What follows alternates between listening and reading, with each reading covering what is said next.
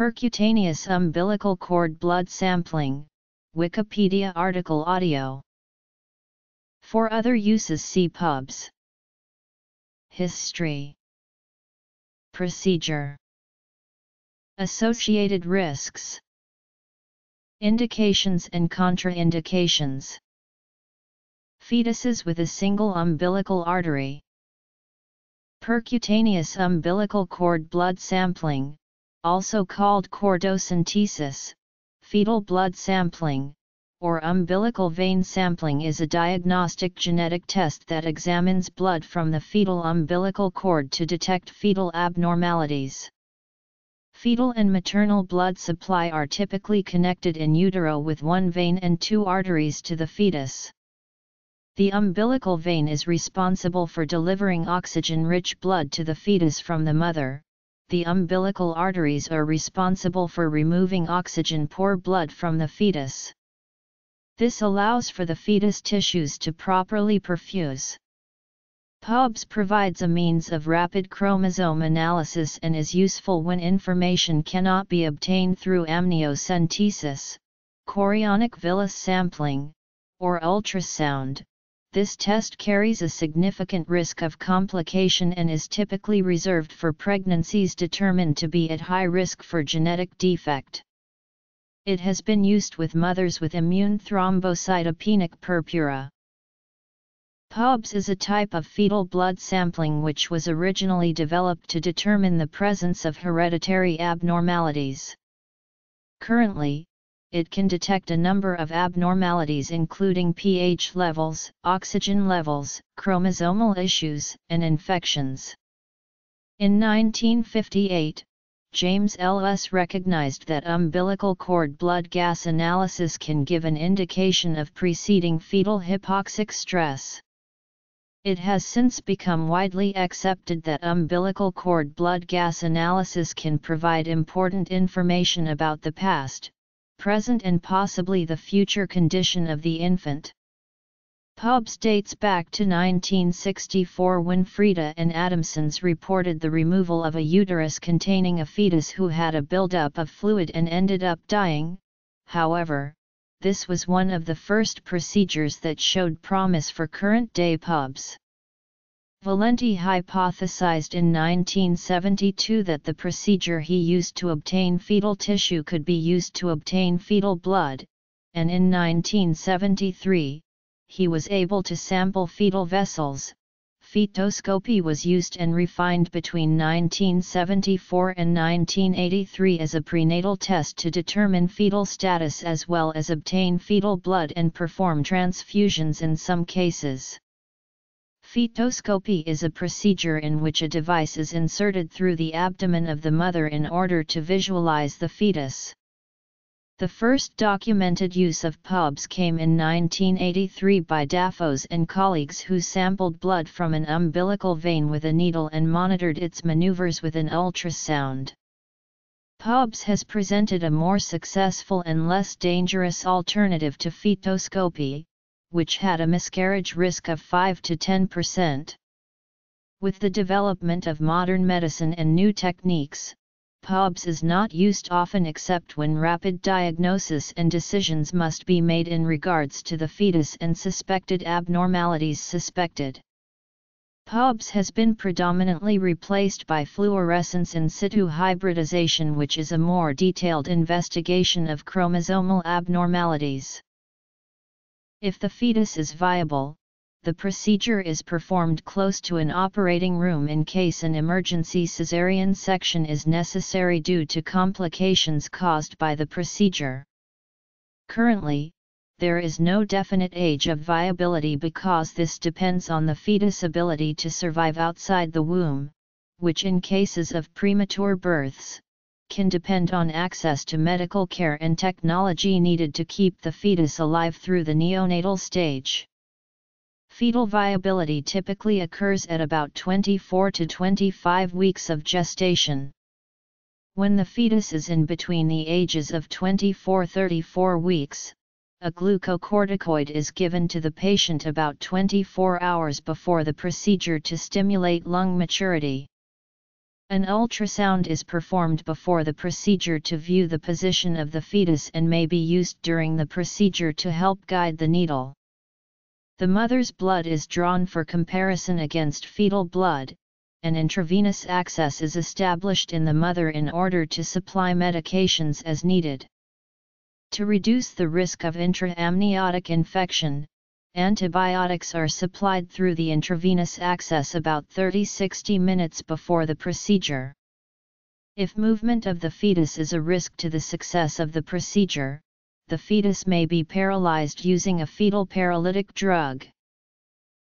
A 20 or 22 gauge spinal needle is typically used in pubs and may be prepared with an anticoagulant, which helps to reduce the risk of clot formation. During the procedure, the first step is to locate a relatively stable segment of the umbilical cord. A typical sampling site would be where the segment of the umbilical cord is closest to the placenta. However, there is a risk of maternal blood contamination at this site. Blood sampling may be achieved with more ease if the placenta is in the anterior position.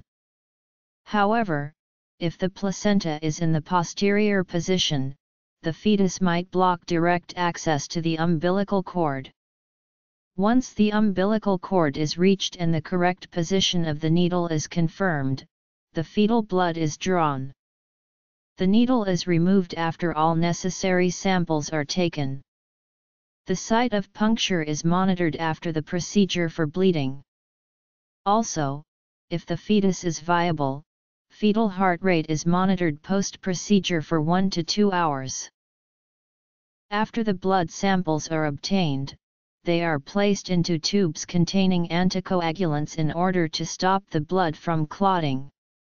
If the blood sample was obtained at the site close to the placenta, a fetal blood confirmation test should be done to ensure no mixing of fetal and maternal blood occurred before the diagnostic tests are done on the blood.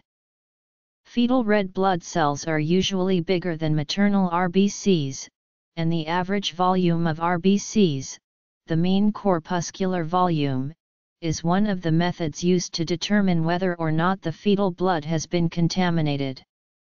Another method, human chorionic gonadotropin determination, can detect maternal blood because maternal blood has high levels of HCG. The hemoglobin alkaline denaturation test can detect the presence of maternal blood, which is indicated by a color change from red to brown when the sample is added to alkali reagent. Blood typing would also detect maternal blood, as the I antigen only occurs in adults.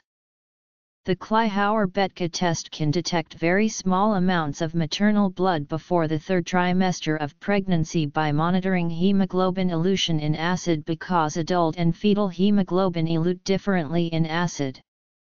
Finally, a white blood cell count can detect maternal blood in the sample, as fetal white blood cells are primarily leukocytes, while maternal white blood cells are mostly neutrophils. If amniotic fluid infiltrated the sample, then there would be a reduction in the volume of RBCs, white blood cells, and platelets in the sample. Also, patterns consistent with amniotic fluid would be visible in the sample. The most common complication is a hemorrhage, or bleeding, of the puncture site and can be especially dangerous when the fetus is younger than 21 weeks. The risk of hemorrhage is greater if the fetus has a defect that affects its platelets. A transfusion of donor platelets is usually done in such cases to reduce the risk of bleeding. If the bleeding is severe, immediate delivery is an option as long as the fetus is old enough to survive, or fetal blood volume restoration may be considered. Another possible complication is cord hematoma, which doesn't have any characteristic symptoms but can be indicated by sudden bradycardia. If the hematoma is under control, the fetus is monitored until stabilized. If the fetus remains unstable, a delivery may be done. Fetal-maternal hemorrhage is another complication that occurs when the fetal blood mixes into the maternal blood. A small fetal-maternal hemorrhage could cause an increase in maternal antigens, while a large fetal-maternal hemorrhage could cause fetal anemia and death.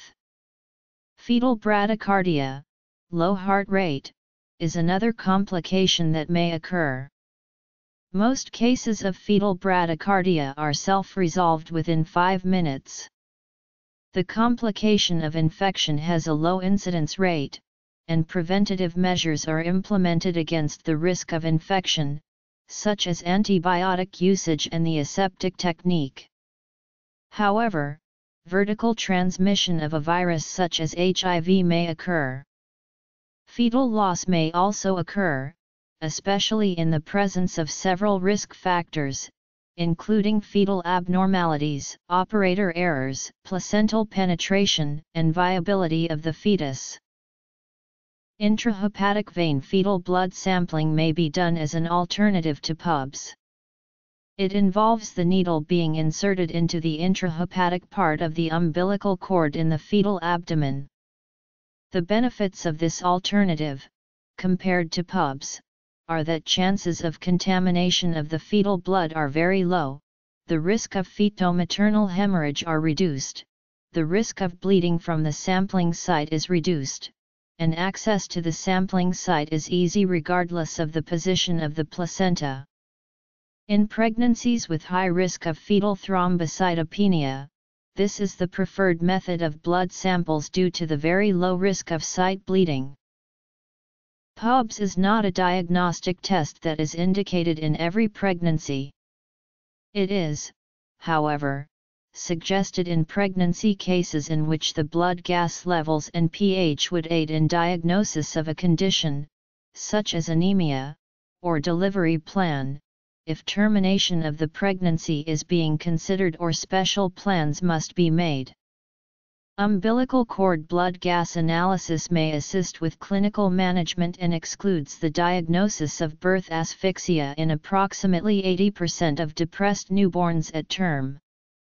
Severe fetal growth issues in conjunction with low oxygen in the fetus blood and high levels in the mother's blood also indicate the use of PUBS. With more detailed observations and information on fetal tissue perfusion and metabolism, better predictions on development can be made. For pregnancies in which genetic abnormalities may be present, PUBS can be used to construct a karyotype, usually within 48 hours, and detect irregular chromosomal patterns. Karyotypes are able to confirm or detect monosomies, trisomies, or missing portions of chromosomes to give a detailed picture of the severity of the genetic defect as well as predicting developmental future. PUBS is also indicated in the cases of twins with accumulation of amniotic fluid and substantially different growth rates, if the fetus is expected to be breaking down red blood cells improperly, and in the alleviation of hydrops fetalis, a buildup of fluid in at least two parts of the fetus.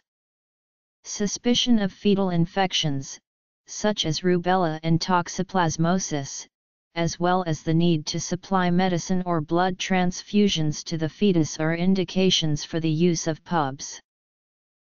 Due to its invasive nature, the contraindications of PUBS, reasons to not undergo the procedure, must be taken into account in order to ensure the safety of the fetus and the mother. During the first 18 weeks of pregnancy, the umbilical vein from which the blood sample is taken is not very stable, which could lead to excessive bleeding, therefore, PUBS is contraindicated in any fetus under the age of 18 weeks old. While blood gas levels and pH values are able to give parents and medical professionals a snapshot of fetal status, these fetuses can be monitored with less invasive procedures and equipment, such as ultrasounds, cardiotocography, or maternal blood tests. Mothers affected by hepatitis B are not advised to undergo PUBS. In these cases, the fetus would be put at an increased risk of contracting the hepatitis virus from the mother. However, the necessity of the procedure should be considered along with this risk. PUBS should not be performed in mothers testing positive for the human immunodeficiency virus due to increased risk of fetal contraction. If PUBS is being used to determine if the fetus has been infected with HIV it may not be contraindicated. The most prevalent defect in about 1% of fetuses' umbilical region is a single umbilical artery. When a single umbilical artery is found, more tests are run including a detailed ultrasound to detect any other developmental abnormalities that may be the result of the single artery, genetic deviation, or other causes. Fetal developmental abnormalities along with the concern of an abnormal karyotype indicate PUBS, however, fetuses with a single umbilical artery may present a higher risk. In these cases, a single umbilical artery is required to perform the work of two arteries so it is often dilated up to one and a half times its size in order to meet these demands. A documented case of puncturing a single umbilical artery during PUBS resulted in a decrease in the heart rate of the fetus with irregular improvement, however, it is difficult to conclude that these symptoms were solely the result of the punctured umbilical artery because these fetuses often have pre-existing defects and abnormalities. While ultrasounds and color flow mapping can be used to avoid the umbilical artery and sample from the umbilical vein, the dilation makes the single umbilical artery easier to puncture. Blood flow in the umbilical artery is seen to be twice the normal amount from about 20 weeks on so the effects of a punctured umbilical artery during PUBS are more severe.